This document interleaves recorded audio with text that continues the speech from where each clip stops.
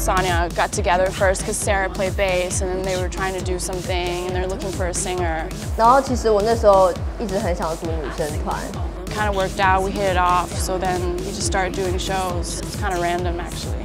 所以那时候是有很多想法跟很多热情都想要全部放在里面，很多是蓝调啊，然后又有一些就是迷幻跟复古元素。 Trouble Youth，所以那个时候会很喜欢那个跳舞的文化，就是觉 得大家一群人可以聚在一起，好朋友，听音乐、喝酒，然后跳舞，觉得是很伟大的事情。所以第一张专专辑有一些就是想要歌颂这种伟大的事情。我觉得从第一张到第二张，大家有经过很多心路历程，应该有一点变熟女吧。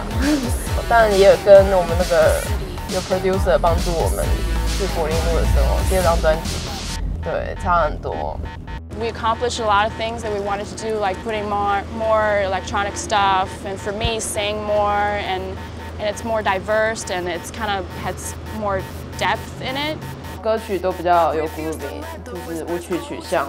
可能有一点点黑暗吧，就是探讨一些很深沉的东西，或者是一些很解放的东西。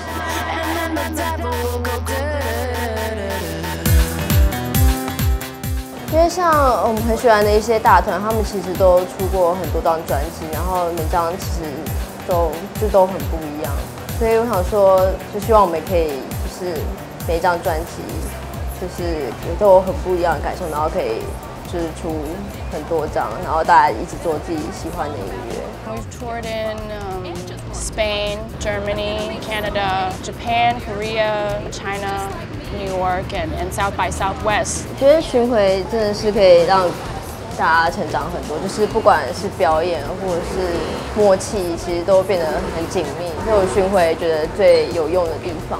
我一直都很希望，就是我们的表演的呃方式可以，就就算是电子的东西，也是有 live 的。然后我们现在就是在往这个方向迈进，所以就更期待看到，如果我们现场表演的时候，观众的反应这样。 My favorite part of being in a band is being on stage. I don't design what I do on stage before. For me, performance kind of like a theater thing. Just getting inspired on the spot by different people, like that's that's amazing for me. 我最希望就是我们表演的时候，然后在台下的人都可以有一个美好时光的。因为我自己看我喜欢的，嗯，不管是 DJ 或是乐团或是 artist 在表演的时候，就是我感受到这个是我觉得对最珍贵的。我希望大家可以听到 我们的音乐，就可以内心又崩溃又重组。I think it's really hard to surprise someone these days or blow someone's mind.